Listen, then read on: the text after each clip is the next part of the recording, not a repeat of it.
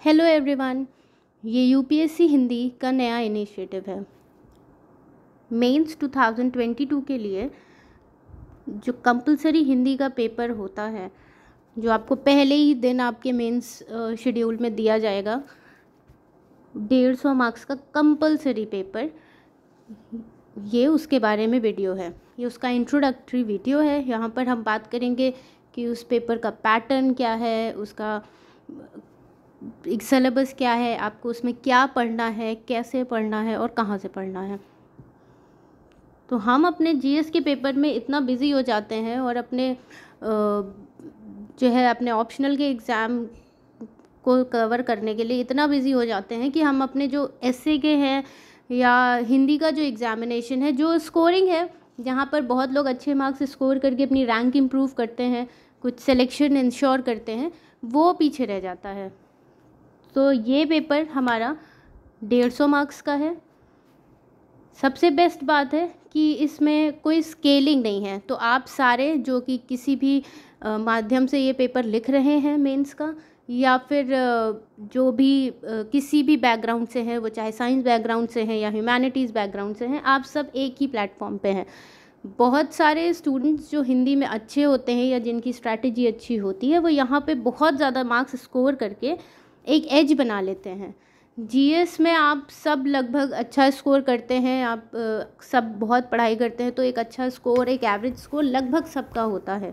आप अपने ऑप्शनल में काम करिए, उसमें आपको जो है, ज़्यादा से ज़्यादा मार्क्स जो भी उसके मैक्सिमम मार्क्स हैं, वो आप मिलते हैं तो आप उसमें बहुत अच्छा एज बना लेते हैं। लेकिन एसए की बात करें हम, और हिंदी पेपर की तो बहुत सारे लोग हैं, जो कि इसमें अच्छा करते हैं और उनको फिर वो बेनिफिट आगे मिलता है। तो हम यहाँ पर इस पेपर की बात करना जा रहे हैं, जो कि आपके फ़र्स्ट डे पर होगा, आपका सामान्य हिंदी का पेपर इसमें इंग्लिश मीडियम वाले स्टूडेंट्स के लिए यहाँ पर जो है थोड़ा सा दिक्कत होती है, क्योंकि एक तो उनको हिंदी लिखने में बहुत लोगों को परेशानी होती है, उनकी कहीं कहीं पर कुछ व्याकरण की एरर आती है, कहीं पर कुछ स्पेलिंग की एरर आती है जो कि हिंदी माध्यम से जो पेपर लिखते हैं या जो उसमें पढ़ते हैं उनमें ये समस्याएँ कम देखने को आती हैं। तो ये हमने कोर्स डिज़ाइन इसी तरह किया है कि आप सभी को एक आसान तरीके से ये बताया जा सके कि कम से कम समय देकर इस पेपर में आप कितना अच्छा स्कोर कर लीजिए ताकि आपको बाकी सारे पेपर में आ, समय देने पर भी जो है आपको इसका स्कोर अच्छा मिले। मैक्सिममली हम बात करें तो इसमें हमें जो अच्छा स्कोर माना जाता है वो नाइन्टी से हंड्रेड एंड फिफ्टीन तक लोगों के आए हैं, जो कि मैंने जिनसे बात की है मैं जिनके टच में हूँ या मेरे खुद के जैसे रहे। तो 90 से लेकर 115 के बीच में एक अच्छा स्कोर माना जाता है और फिर वो आपको आपके पेपर और बाकी चीज़ों में बहुत हेल्प करता है। तो हमें ये ध्यान देना है और कोशिश करनी है कि हमें इतना तो स्कोर अपना लाना है। ठीक है इसमें एक अच्छी चीज़ ये है कि इसमें कोई स्केलिंग नहीं है। आप जितना अच्छा लिखेंगे आपको उतने मार्क्स मिल जाएँगे। आपके आ, किसी पर्टिकुलर बैकग्राउंड से होने पर इसमें कुछ वो मॉड्यूलेशन होगा नहीं। तो ये एक अच्छी चीज़ है। आप मैक्सिममली हंड्रेड हंड्रेड टू अच्छा स्कोर कर सकते हैं। और समय भी उसमें जो है ना, कम आपको देना पड़ेगा। एक सौ बारह ऐसे बहुत अच्छा स्कोर कर सकते हैं। तो आपके पास, क्योंकि बहुत सारी चीज़ें पढ़ने को हैं, आपका जीएस है, आपके ऑप्शनल का सब्जेक्ट है तो हम कोशिश करेंगे कि हम ज़्यादा से ज़्यादा चीज़ें इसी कोर्स में, यहीं पर, इन्हीं वीडियोज़ में कवर कर लें, ताकि आप इनको देखकर एक अच्छा स्कोर बना सकें, एक अच्छी स्ट्रैटेजी और अच्छा पैटर्न समझ के तैयारी कर सकें। ताकि आप बाकी चीज़ों में भी जो है आराम से ध्यान दें। ये इनिशिएटिव अभी शुरू हुआ है ताकि आप जल्द से जल्द इसे कवर कर लें और अपनी सारी जो भी नोट्स मेकिंग करनी है या जो भी रीडिंग करनी है, वो पार्ट शुरू कर दें। ताकि बाद में पेपर के आने वक्त आप पैनिक ना हो या ये ना लगे कि अरे इसमें कुछ कमी रह गई है। क्योंकि ये पेपर पहले दिन ही होगा और मेरी समझ से अगर पहले दिन पेपर बहुत अच्छा आप लिख के आते हैं तो उससे ना कॉन्फिडेंस बढ़ जाता है। तो आप आगे तो फिर अच्छा करेंगे ही। तो ये चीज़ें हैं जो आपको बेनिफिट करेंगी। ये सब थोड़ा थोड़ा ध्यान देने वाली चीज़ें हैं। तो हम आगे देखते हैं कि ये कोर्स कैसे हम करेंगे। सबसे पहले ये हम आयोग में जिस तरह से इस पूरे पेपर का सिलेबस दिया हुआ है, हम उस पर बात करते हैं। ये पेपर डेढ़ सौ मार्क्स का है, तीन घंटे के लिए होता है। बहुत लोग क्या करते हैं इसको जल्दी जल्दी से लिख के बैठ जाते हैं और छोटी छोटी गलतियाँ कर देते हैं जहाँ पर मार्क्स कट जाते हैं। तो हम इन सब बातों का भी ध्यान रखेंगे कि अगर हमें तीन घंटे दिया गया है तो वो बस ऐसे ही नहीं दिया गया है। आ, माना कि पेपर का लेंथ बाकी पेपर से शायद छोटा हो और आपकी अगर तैयारी है आपने घर में बहुत प्रैक्टिस की हुई है तो वहाँ पर आपको वाकई बहुत कम समय मिलेगा। लेकिन आप फिर भी शांत मन से और हर एक प्रश्न को तरीके से, अच्छे से पढ़कर, समझकर उसका जवाब लिखेंगे तो आप इसमें बेहतर परफॉर्म कर पाएँगे। इसमें दिए हुए जो सिलेबस है, जैसा कि हमने बात की, वो आयोग की साइट पर जो है, उनके नोटिफिकेशन मैसेज लिया हुआ है। ये नौ पॉइंट्स हैं उन्होंने तो खैर इसको ए बी सी डी करके डाल रखा है, पर मैंने सारे इलाबोरेट कर दिए ताकि आपको अलग से सही से समझ में आए। आप इसका स्क्रीनशॉट ले लीजिए या पढ़ते समय यहाँ से ही ध्यान दीजिएगा कि सबसे पहले तो हमारे पास दो गद्यांश आते हैं जो कि बहुत ज़्यादा इंपॉर्टेंट है। हम इस वीडियो में ये भी देखेंगे कि इस पेपर में कौन सा सेक्शन है जहाँ हमें ज़्यादा फोकस करने की ज़रूरत है। ताकि हम अपने पढ़ते वक्त इस बात का ध्यान रखें कि हाँ हमें इस जगह पर ज़्यादा ध्यान देना है, इस सेक्शन की हमें ज़्यादा प्रैक्टिस करनी है तो हम कम से कम समय में और स्ट्रैटेजिकली और वेरी स्मार्टली हम अपने जो है इस कोर्स को कंप्लीट कर सकें और मैक्सिमम मार्क्स गेन कर सकें। ये सिलेबस को ना ऐसे ही डिज़ाइन किया गया है, जिससे आपकी हिंदी भाषा में एक समझ, उस भाषा में आपकी पकड़ को समझा जा सके। देखिए, आप सिलेबस को देखेंगे तो इसमें आपको शब्दकोश आपका कैसा है वो भी चेक किया जा रहा है। पत्र लिखवाया जाता है जिस, क्योंकि आपको सरकारी विभाग में काम करना है और वहाँ पर एक शैली होती है कार्य की, जिसमें आप पत्राचार करते हैं, आप बातचीत करते हैं, एक रिटर्न रिकॉर्ड के तौर पर वो रखा जाता है। तो इसलिए ये पत्र भी लिखवाते हैं। और एक गद्यांश है, ताकि भाषा की समझ, उस पर पकड़, ये सब वो समझ सकें। आपको हिंदी भाषी प्रदेश में काम करना है जहाँ तक पर ज़्यादा काम हिंदी भाषा में ही होता है। आपको जिन लोगों से रोज़मर्रा में बातचीत करनी है वो भी ज़्यादातर हिंदी ही बोलने वाले आपको मिलेंगे। सो so, ये पेपर इंपॉर्टेंट है उस उद्देश्य से भी कि आपको भाषा आनी चाहिए उस पर पकड़ होनी चाहिए। ठीक है?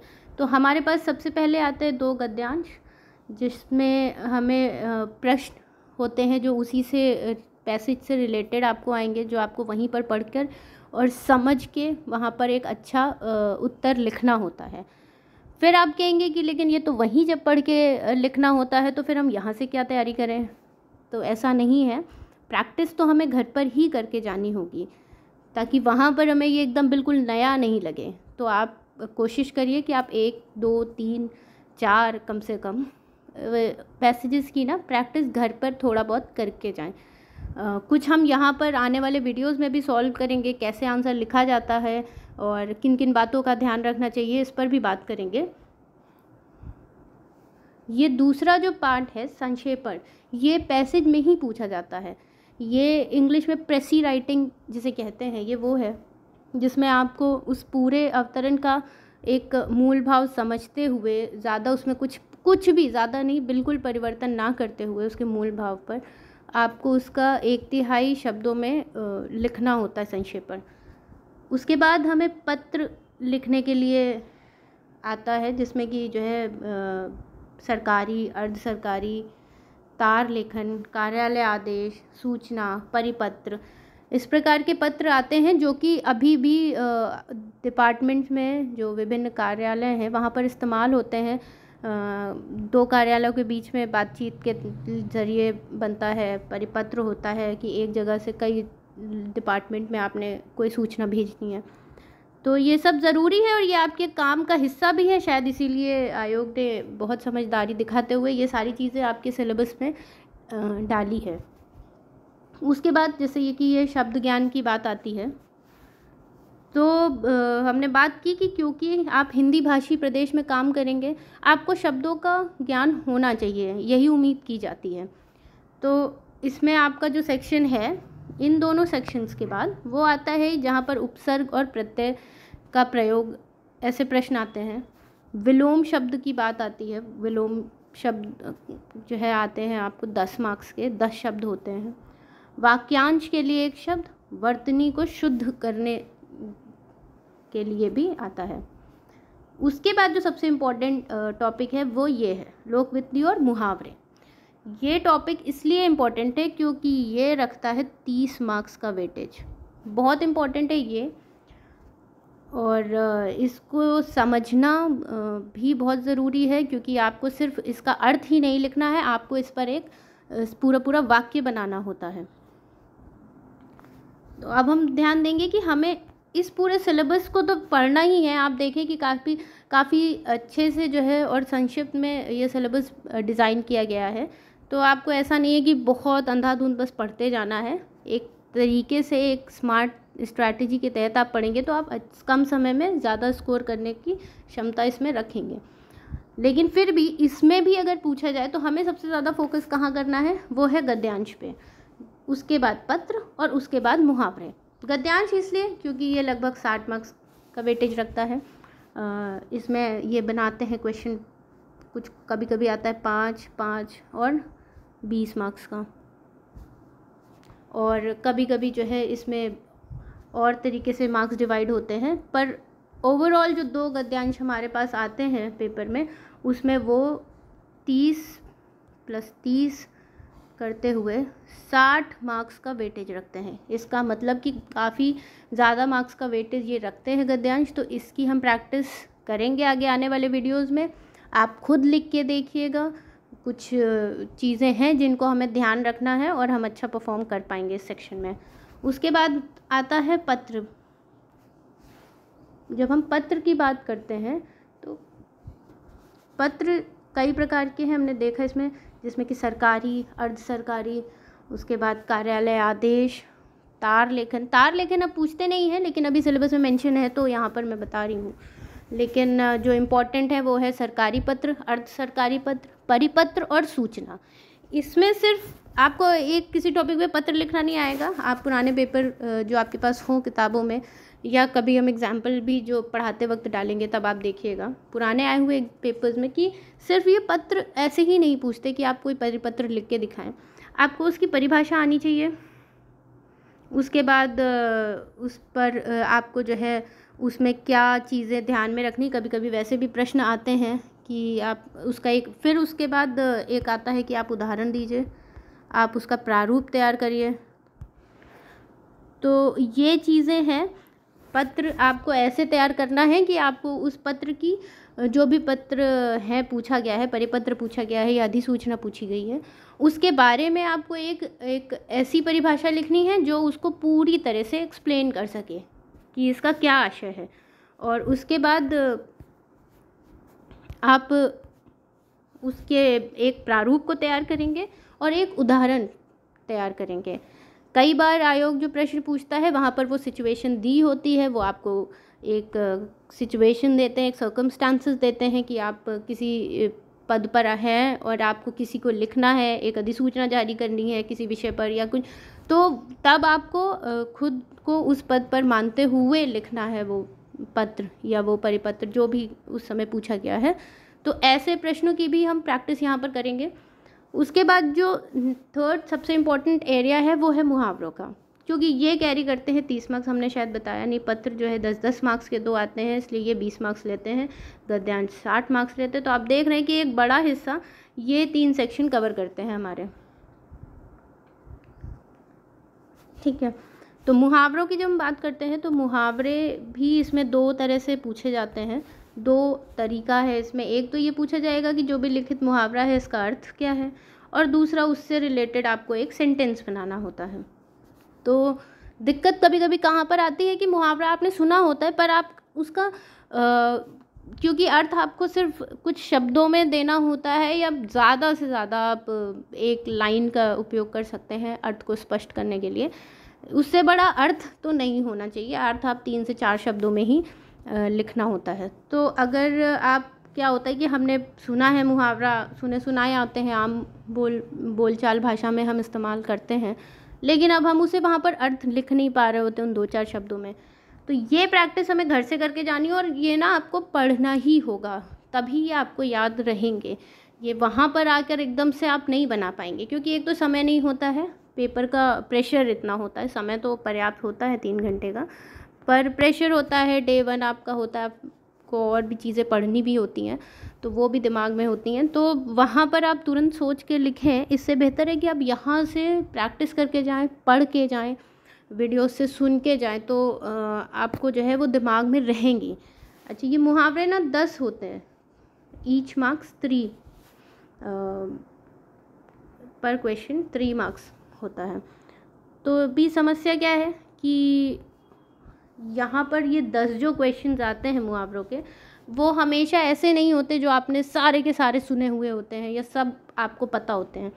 ये वैसे तो वही उठाए जाते हैं जो उत्तर प्रदेश में आम बोल बोलचाल की भाषा में इस्तेमाल होते हैं। काफ़ी कुछ आपके सुने हुए होते हैं पर सारे के सारे नहीं ऐसे होते। आयोग ये चाहता भी नहीं कि आपको सारे पेपर आता हो और आप बिल्कुल ए टू जेड सब कुछ करके बैठ जाएँ। नहीं तो इसलिए कुछ ऐसे होते हैं जो कि वो एकदम नया कुछ लेके आते हैं किसी आ, किसी एक एक पूर्वांचल का उठा लिया या कहीं ऐसी जगह से उठा उठा लिया जो कि नहीं सुना हुआ होता है ज़्यादातर लोगों ने। तो ऐसे मुहावरों को लिखने के लिए उसमें हमें ज़्यादा समय नहीं लगाना है। ज़्यादा हमारा फोकस वो होगा जो कि पहले के पेपर में आ चुके हैं प्रीवियस ईयर पेपर्स में आ चुके हैं, जो कि और भी आसपास हुए एग्ज़ाम में कवर किए हुए हैं, आयोग की तरफ़ से पूछे गए पेपर्स में आए हुए हैं। तो हमें उन्हें नहीं छोड़ना है। और इसमें से कम से कम सात से आठ तो आप अटेम्प्ट कर ही लेंगे। वो दो एक ऐसे डालते हैं जो कि आप उसी समय सुने होते हैं। तो इसलिए मुहावरों को लेकिन बहुत सारे आपको पढ़ने पड़ेंगे और उनका अर्थ भी समझना पड़ेगा और कुछ कुछ हम जो है उसके वाक्य के कैसे प्रयोग कर रहे हैं, क्योंकि एक आप अधिकारी बनने जा रहे हैं तो उस तरह के वाक्य ही आपको बनाने होंगे। तो उन वाक्यों पर भी काम करेंगे हम ताकि आपको वहाँ पर आसानी हो और आप इतने तो कम से कम अटेम्प्ट कर ही लें अच्छे से। तो अगर आप इतना करते हैं तो आप एक अच्छा स्कोर टच करेंगे, जो कि आपको बहुत हेल्प करेगा आपके किसी भी और सब्जेक्ट की तुलना में। ये हमारा फोकस एरिया रहेगा। अब आप एक गद्यांश जो पहले के पेपर में पूछा गया है, ये हमारी समझ से दो हज़ार सत्रह का पेपर है, और ये इन्होंने गद्यांश वहाँ पर प्रेजेंट दिया था उस पेपर में। तो आप देखिए, भारतीय मनीषा ने कला, धर्म, दर्शन और साहित्य के क्षेत्र में नाना भाव से महत्वपूर्ण फल पाए हैं और भविष्य में भी महत्वपूर्ण फल पाने की योग्यता का परिचय वह दे चुके हैं। अब देखिएगा कि एक साधारण हिंदी की भाषा और ज़्यादातर ये जो पैसेज उठाते हैं वो साहित्य से या कला से या ऐसी ही किसी चीज़ से उठाए हुए होते हैं। तो आयोग को ऐसे टॉपिक्स बड़े आसान लगते हैं शायद। तो वो इससे ही उठाता है। भाषा इतनी क्लिष्ट नहीं होती है। सिंपल ही होती है। आप इसमें देख लीजिए कि ऐसे ही पैसेज आते हैं और इस पैसेज से जो क्वेश्चन बनते हैं, हमें उस पर ध्यान देना है। सबसे बेस्ट चीज़ क्या है इसमें? कि ये पेपर ऐसे जिस पैटर्न में हम दिखा रहे हैं या जिस पर हम पैटर्न की बात कर रहे हैं, ये ऐसे ही आता है। इसमें बहुत ज़्यादा छेड़छाड़ करता नहीं है आयोग, ना इसमें बहुत ज़्यादा बदलाव आता है। तो ये समझ लीजिए आपके लिए वो जीएस के कुछ पेपर्स की तरह या और किसी पेपर की तरह एकदम सरप्राइजिंग नहीं होगा। आप इसको पढ़ के जाए प्रैक्टिस करके जाइए तो आपको ये देखा देखा या समझा हुआ ही लगेगा। तो ये किसकी अच्छी चीज़ है? देखिए, इस साल इन्होंने क्या किया कि इसको जो ये पाँच प्लस पाँच प्लस बीस वाला फॉर्मेट इनका चला आ रहा था। उससे थोड़ा सा बदल के इसको इन्होंने दस, पाँच और दस, पाँच ऐसे करके चार प्रश्नों में जो है विभक्त डिवाइड कर दिया है। तो यहाँ पर ये जो इन्होंने क्वेश्चन पूछा है, ये आप देखेंगे तो ये है इसी पैसेज से रिलेटेड समूची जनता को समान धरातल पर खड़ा करना किस प्रकार संभव है? आप ये जब हम अभी आगे के गद्यांश सॉल्व करेंगे तो हम कोशिश करेंगे कि देखें कि हम कितना अच्छा तरीके से आंसर निकाल सकते हैं। तो देखिए, इसमें हम आपको करना ये है कि सबसे पहले तो ये मात्राओं की गलती और थोड़ी व्याकरण की गलती, ये सब नहीं होनी चाहिए। इस पर काम करना पड़ेगा। जिसको दिक्कत हो रही है या जिनकी ऐसी गलतियाँ हो रही हैं, उनको प्रैक्टिस शुरू कर देनी चाहिए। थोड़ी थोड़ी अभी बिल्कुल शुरू कर देनी चाहिए। प्रीलिम्स को हुए हो चुके हैं काफ़ी दिन तो अब मेंस की तैयारी में लगने का टाइम आ चुका है। तो जिनका हो रहा है या जिनका नहीं भी हो रहा है, आपको मेंस की तैयारी में लग ही जाना है और जिनको हिंदी के पेपर में दिक्कत हो रही है या वो गलतियाँ कर रहे हैं तो उनको अपनी प्रैक्टिस भी शुरू कर देनी है। तो जो हमने देखा कि ये क्वेश्चन बनाते हैं, ये इसी पैसेज से रिलेटेड होते हैं? समूची जनता को समान धरातल पर खड़ा करना किस प्रकार संभव है? ये आपको पैसेज में जब आप रीड करेंगे तो आप वो सेक्शन अंडरलाइन करेंगे और वहाँ से लिखेंगे। दस मार्क्स का है, इसका मतलब आपको कम से कम इसमें सात से आठ लाइन या नियम और भी हैं जो कि आगे हम बात करेंगे, उतना लिखना पड़ेगा। कितने मार्क्स का है, उस हिसाब से कितना लिखना होता है, उस पर हम बात करेंगे। दूसरा है कि प्रथम रेखांकित अंश का क्या आशय है? ये इस तरह के प्रश्न आते हैं कि वो पैसेज में आपको ना कुछ ऐसी लाइन होंगी जिनको वो अपनी तरफ़ से रेखांकित करके देंगे। तो उसका व्याख्या करने को, लिखने को आएगा, या जैसे इसमें पूछा है कि उसका आशय क्या है। पाँच मार्क्स का है, इसका मतलब ये थोड़ा छोटा लिखना है, लेकिन ये वैसा ही है जैसा व्याख्या का, व्याख्या के लिए होता है। तो इस पर हम अलग से बात करेंगे। उसके बाद द्वितीय अंश, द्वितीय रेखांकित अंश का विशदीकरण कीजिए। विशदीकरण का भी अर्थ अब इन्होंने शब्द ये डाल दिया है तो ऐसा कुछ नहीं है कि ये कुछ नया निकाल के लाए हैं। इसका भी अर्थ इलेबोरेट करना इंग्लिश में जो होता है, वही है। आपको इसको एक्सप्लेन करना है। ये दस मार्क्स का है, इसका मतलब इसमें आपको ज़्यादा लिखना है। और ये इन्होंने एक, इसी पैसेज से रिलेटेड क्वेश्चन पूछा है। जो कि आप जब पैसेज कई बार पढ़ेंगे, ये क्वेश्चन पढ़ेंगे, फिर पैसेज पढ़ेंगे और वो सेक्शन जहाँ पर इस चीज़ को मेंशन किया गया है, उसको नोट करेंगे तो ये आपको वहाँ से मिल जाएगा जवाब। जवाब वहाँ से मिल जाएगा, लेकिन आपको वहीं से उठा के एज इट इज़ अपनी कॉपी में नहीं लिखना है। क्योंकि आप इतने तो हैं कि आप एक अच्छा आंसर वहाँ पर फॉर्म कर सकें। आयोग भी आपसे यही एक्सपेक्ट करता है। तो इसलिए आप ना, इसमें आपको समझना वहाँ पर है कि जवाब है क्या और फिर अपनी भाषा में एक अच्छा सा उत्तर तैयार करना है। दूसरा ये एक, आया हुआ आयोग का एक दूसरा किसी साल के पेपर का ही है। ये पेपर से आया आई गेस ये 2018 का है या फिर ये सब हम अभी आगे देखेंगे। जब पुराने पेपर्स को हम सॉल्व करेंगे। तो ये शारीरिक श्रम से मनुष्य को संतोष तो मिलता ही है, उसका शरीर भी स्वस्थ रहता है। ऐसा ही एक पैसेज है, बहुत बड़ा पैसेज ये नहीं देते हैं और इससे रिलेटेड यहाँ पर ये प्रश्न है। तो यहाँ पर इन्होंने देखिए ये five plus five plus twenty वाला फॉर्मेट फॉलो करते हुए बस तीन क्वेश्चन दिए हैं। लेकिन ये टोटल कितना हुआ? यहाँ पर तीस और वो पहले वाले का तीस। यानी कि साठ नंबर एक बड़ा हिस्सा गद्यांश जो है कवर करता है। तो इसमें देखिए ये आयोग का ना एकदम ऑथेंटिक पैटर्न है जो वो कई सालों से फॉलो कर रहा है। सबसे पहले वो उस गद्यांश का शीर्षक पूछते हैं। शीर्षक में क्या ध्यान देना है? जब हम कोई शीर्षक बनाते हैं तो उसमें क्या लिखना होता है? कितने शब्दों का लिखना होता है? और उसको कैसे निकालना पड़ता है पैसेज से, इन सब पर हम आगे आने वाले वीडियोस में बात करेंगे, जब हम गद्यांश के बारे में और समझेंगे और पढ़ेंगे। दूसरा है, ये जो प्रश्न है कि उपलिखित गद्यांश के आधार पर श्रम का महत्व स्पष्ट कीजिए। तो ये आपको उसी गद्यांश में जो भी उन्होंने दिया है, यहाँ पर जब आप पढ़ेंगे तो आप इसको ध्यान से पढ़ते वक्त कि कहाँ पर इस क्वेश्चन की जानकारी दी हुई है, और फिर वहाँ से आप लाइन उठाएँगे। अब बात करते हैं जो ये नेक्स्ट पूछा है संक्षेपण कीजिए। बीस मार्क्स का ये क्वेश्चन आता है तो ये बहुत ज़रूरी है। संक्षेपण की प्रैक्टिस बहुत ज़रूरी है। ये आपको घर से ही आ, कुछ दो चार संक्षेपण लिख के जाना होगा। कुछ हम भी यहाँ पर डिस्कस करेंगे कि इनमें इसको लिखते वक्त इन बातों का ध्यान रखना चाहिए कितने शब्द होने चाहिए कैसे लिखना है। और कुछ एक जो प्रीवियस ईयर के पेपर्स में आए हुए संक्षेपण हैं, हम उन पर भी बात करेंगे। तो इसको ना प्रैक्टिस की बहुत ज़रूरत है, ये आपको लिख के जाएँ, ये आपके लिए बेहतर होगा। वरना वहाँ पर फिर आप सोचने में समय बिताएँगे, कुछ गलतियाँ होंगी, कुछ कटिंग होगी और वो सब होनी नहीं चाहिए। तो हम इसकी बात करेंगे, आगे वाले, आने वाले वीडियोज़ में। अब ये हम बात करते हैं जो हमारा दूसरा फोकस एरिया है, वो है पत्र लेखन का। ये पत्र लेखन वाले दो पत्र, जैसे कि मैंने बताया था, बीस मार्क्स का है। और इसमें देखिए, यहाँ पर इन्होंने इस साल ये आपको ही कुछ बढ़िया सा पद दे दिया है कि आप भारत सरकार में कुछ संयुक्त सचिव हैं और आपको एक सरकारी पत्र का प्रारूप तैयार करना है। तो जब हम प्रारूप तैयार करते हैं तो हम अलग ढंग से चीज़ों पर ध्यान देते हैं। जब हम उदाहरण लिखते हैं तो वो अलग तरीके का होता है। इस पर हम आने वाले वीडियो में जब पत्र वाला वीडियो बनाया जाएगा, आपको दिया जाएगा तब उस पर बात करेंगे।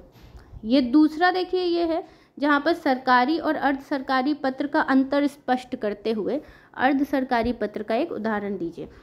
तो जैसे कि मैंने पहले बताया था कि हमें परिभाषा भी तैयार करनी है, उसका एक प्रारूप तैयार करना है और एक उदाहरण तैयार करना है। तो यहाँ पर देखिए वही काम आ गया।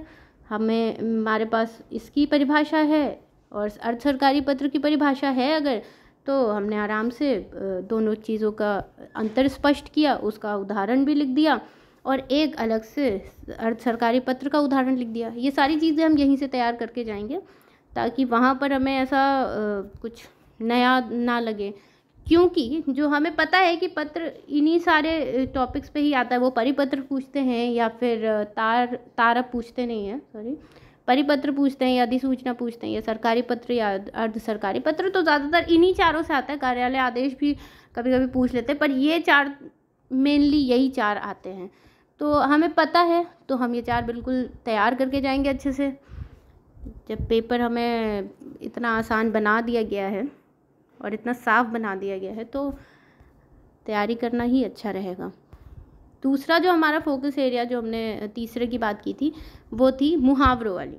अब आप देखिए, ये दस मुहावरे पूछे गए हैं, ये हर एक तीन मार्क्स का है और इस वजह से ये तीस मार्क्स का क्वेश्चन बनता है जाके। तो ये काफ़ी इम्पोर्टेंट बन जाता है। आप इनको पढ़ेंगे तो ये ज़्यादातर वो हैं जो आपने कभी घर में अपने परिवारजनों को या आसपास के लोगों को बोलते, कहते सुना होगा। कभी हम आम बोलचाल की भाषा में भी इनका उपयोग करते हैं। लेकिन पेपर में इसे कैसे प्रेजेंट करना है, उस पर बात हमें यहाँ करनी होगी। और ये आपको याद भी करना होगा। इसलिए जिनको भी ये पेपर पहली बार दे रहे हैं, मेंस, बधाई हो उनको पहले तो। और जो भी है, जिनको इस सेक्शन में मार्क्स कम आ रहे हैं, उनको ये पढ़ना शुरू कर देना होगा, ताकि वो याद रहे उसका अर्थ और उसको लिखने में दिक्कत ना हो और वाक्य भी बना पाएँ आप, ताकि तीस में से आप अच्छे से अच्छा स्कोर कर सके, चौबीस, पच्चीस शायद छब्बीस तक भी तो ये तो बहुत अच्छा स्कोर हो जाएगा। आप बिल्कुल जो है कोशिश करेंगे तो ऐसा हो सकता है। तो आप देखिए ये वाले सारे, आपने कहीं ना कहीं सुने होंगे, पगड़ी उछालना, तिल का ताड़ बनाना, छाती पर सांप लौटना, छठी का दूध याद आना, ये तो बहुत लोग ऐसे गुस्से में भी कह देते हैं। घाट घाट का पानी पीना, इसका अर्थ होता है अनुभवी होना। तो हमें कई बार ये सुना तो है कि अरे हाँ हमने घाट घाट का पानी पिया, लेकिन उसका, उस वक्त लिखते वक्त कि एकदम एग्जैक्ट जो शब्द स्पष्ट करे उसका अर्थ, वो याद नहीं आता। तो ये सारी चीज़ें हमें यहाँ से ही प्रैक्टिस करके जानी है। ये कुछ मुहावरे हैं जो कि किसी साल आए थे, शायद ये 2017 का ही पेपर है या 18 का है। ढाक के वही तीन पात अंधे के हाथ बटेर लगना। अच्छा कुछ ऐसे मुहावरे हैं जो रिपीट भी होते हैं। तो हम जब प्रीवियस ईयर के पेपर करेंगे या आप जब आपके पास प्रीवियस ईयर पेपर के जो पेपर हैं, आप उन्हें देखेंगे तो आपको पता चलेगा कि कुछ रिपीट भी होते हैं। तो ऐसा नहीं है कि हर बार नए आते हैं तो आपको बिल्कुल सब कहीं से भी पढ़ते रहना नहीं, कुछ ऑथेंटिक सोर्सेज होते हैं, कुछ किताबें हैं, बाकी हम जो यहाँ पर डिस्कस करेंगे, उससे आपका एक सेक्शन तैयार हो जाएगा। तो उससे जो है आप काफ़ी कवर कर सकते हैं प्रैक्टिस आपको लेकिन खुद करनी होगी, जो कि आपको मदद करेगा आगे। अब हम बात करते हैं कि और कौन कौन से सेक्शंस हैं। ये तो तीन हमारे फोकस एरिया हैं, जिस पे कि हमने देखा कि आपका पत्र बहुत इंपॉर्टेंट है, ये मुहावरे वाला सेक्शन बहुत इंपॉर्टेंट है, और उसके अलावा आपका जो है, गद्यांश का पार्ट बहुत इंपॉर्टेंट है। तो ये सारे सेक्शन बहुत इंपॉर्टेंट हैं, लेकिन उसके बाद, ये तो सिर्फ़ इंपॉर्टेंट और फोकस एरियाज़ हैं, लेकिन बाकी जो सेक्शन है मार्क्स तो वहाँ से भी आएँगे। अब जैसे ये वाक्य शुद्धि का आया, ये पाँच पॉइंट पाँच दिए गए हैं क्वेश्चन वाक्यों को शुद्ध कीजिए। और ये आपको पाँच नंबर के आते हैं। तो इसमें क्या नियम फॉलो होते हैं? क्या क्या चीज़ें आपको ध्यान में रखनी होंगी? ये सारी प्रैक्टिस आप जब करेंगे तो ये क्वेश्चन आराम से वहाँ पे होंगे। ये बहुत आसान पूछे जाते हैं कि शिवा और उमा आज मेरे घर आएगा। या आपको पढ़ने पे ही समझ में आ रहा है कि इसमें गलतियाँ हैं। तो जब भी आप पढ़ेंगे शिवा और उमा आज मेरे घर आएगा तो बस आपको वहाँ पर इसको शुद्ध करना है और इसका जवाब लिखना है। आप आराम से इसको मार्क्स मिल सकते हैं आपको पूरे पूरे तो ये देखिए, ये भी जो है शुद्ध करने के लिए आते हैं। कभी आयो क्या करता है? पाँच वाक्य देगा और वो दस नंबर के होते हैं। कभी इस तरह से बना देते हैं कि पाँच मार्क्स का ये, और पाँच मार्क्स के वो शब्द डाल देते हैं कि इनको आपको कैसे लिखना है वो सही करें। तो आपको इस पर भी देखना है, जैसे यहाँ पर आशीर्वाद देखिए, ये गलत लिखा हुआ है। बस आपको इसको कैसे सही से लिखना है, ये लिख कर पूरे पूरे नंबर ज्ञात करने हैं। अब ये सारी प्रैक्टिस हम यहाँ पर भी करेंगे। आप पुराने पेपर देखिए, पुराने पेपर्स में भी आप सॉल्व करेंगे तो आपको ये जो बर्तनी की गलतियाँ हैं, जो लिखने में मात्राओं की गलतियाँ हैं, ऐसा ना हो इन बातों का सब ध्यान रखना है। वहाँ भारी भीड़ एकत्रित हो गई। अब इसमें शुद्ध करना है आपको और बस एक सेंटेंस वहाँ पर नोट डाउन करना है। कोई टिक करने वाला ऑब्जेक्टिव पेपर ये है नहीं कि वहाँ पर आपको चार दिए हुए ऑप्शन आपने टिक कर दिया ये आपको पूरा पूरा सेंटेंस वहाँ लिखना होगा। इसलिए लिखने की प्रैक्टिस आपको करनी ही होगी। ठीक है? ये जो आगे का कुछ सेक्शन है उसमें उत्सर्ग उपसर्ग और प्रत्यय भी आता है। आपने सिलेबस आगे देखा है, उपसर्ग और प्रत्यय की वी उत, इस तरह से शब्द दिए होंगे और आपको इसका जो है, पहले तो ये पहचान करनी है कि इनमें से कौन सा उपसर्ग है और कौन सा प्रत्यय और उससे एक एक शब्द की रचना करनी है। ये भी दस मार्क्स का आता है और दूसरा एक्सरसाइज जो आती है वो है विलोम शब्द की। विलोम शब्द आपको पढ़ने होंगे, आप सारे तो नहीं कर पाएँगे, कुछ जो है जैसे रिजु का वक्र ये कई बार पूछा जाता है, पहले कई बार पूछा गया है। समष्टि, ये भी पहले आ चुका है। समष्टि का व्यष्टि और ऐसे कई सारे हैं, विहित का, अविहित। ये सारे शब्द जो है, आपको याद करने होंगे, ये बार बार पढ़ने से, आपके प्रैक्टिस करने से ही आपको याद रहेंगे। हो सकता है आप पूरे दस में से दस ना कर पाएँ, पर हमारी कोशिश रहती है कि हम आठ, सात से आठ तो कर ही लें, कम से कम। वैसे कुछ लोग होते हैं जिनको पूरे दस आते हैं, पर ऐसा है नहीं कि सबको दस में से दस ये पूरे ही आने चाहिए। कभी कभी कुछ कुछ शब्द आयोग ऐसे डालता है जो कि बिल्कुल नए होते हैं या जिनका अर्थ ही नहीं समझ में आ रहा होता तो उसका विलोम लिखने में दिक्कत होती है। पर इसमें कोई नेगेटिव मार्किंग नहीं है तो आप ये कर सकते हैं कि आप लिख आ रहे हैं, लेकिन एक नेगेटिव इफ़ेक्ट जाता है तो ये करना नहीं है। अगर आपको नहीं आ रहा है, बिल्कुल भी अर्थ नहीं है तो आप कुछ भी रैंडम नहीं लिख के आइएगा। क्योंकि फिर वो एक नेगेटिव इफ़ेक्ट आपकी कॉपी खुलती है, आप उसमें वो एग्ज़ामिनर पे एक अच्छा प्रभाव नहीं डालती। तो इन बातों का हमें ध्यान रखना है। तो ये एक इंट्रोडक्टरी वीडियो है कि आगे के आने वाले वीडियोस पर हिंदी का ये जो पेपर है, हम उस पर कैसे कवर करते हैं, उसमें क्या क्या चीज़ें हमें ध्यान देनी है, कैसे हमें यूटिलाइज़ करना है अपने समय को और कम से कम समय में अपने कोर्स को पूरा कंप्लीट करना है। इसमें ज़्यादा समय हिंदी में तो नहीं देना क्योंकि आपको आपका जीएस का पेपर पढ़ना है, उसके बाद आपको अपना ऑप्शनल भी पढ़ना है, जो कि बहुत है। आपको करेंट पर भी देखना है तो बहुत सारी चीज़ें होती तो आप हिंदी पे बहुत समय तो नहीं दे पाएँगे। पर हाँ प्रैक्टिस इसकी भी ज़रूरी है और आपको ये करके ही जाना पड़ेगा ताकि इसका आप पूरा लाभ उठा सके कि इस डेढ़ सौ मार्क्स में कोई स्केलिंग तो होनी नहीं है। तो आप जितना अच्छा लिखेंगे, आपको उतने नंबर मिल जाएँगे। तो थोड़ी थोड़ी चीज़ें सुधार करने से आप एक अच्छा एज ले सकते हैं इस पेपर में। मैं आशा करती हूँ कि आपको ये वीडियो इन्फॉर्मेटिव लगा होगा और आपकी जो भी सजेशंस हैं वो आप नीचे कमेंट सेक्शन में डाल सकते हैं। आगे आने वाले वीडियोस में हम इसके हर एक सेक्शन पे जो भी पेपर में आता है उन पर बात करेंगे, उनमें क्या क्या सावधानियाँ रखनी है हमें और विलोम या मुहावरे, उनमें कौन कौन से शब्द हैं जो कि ज़्यादातर आते रहते हैं और स्टैंडर्ड बुक्स में हैं, वहाँ पर उनके एक्सप्लेनेशन और उनके अर्थ और सब चीज़ों पर बात होगी। So thank you so much जय हिंद। आपको ये वीडियो इन्फॉर्मेटिव लगा हो तो please like share and comment thank you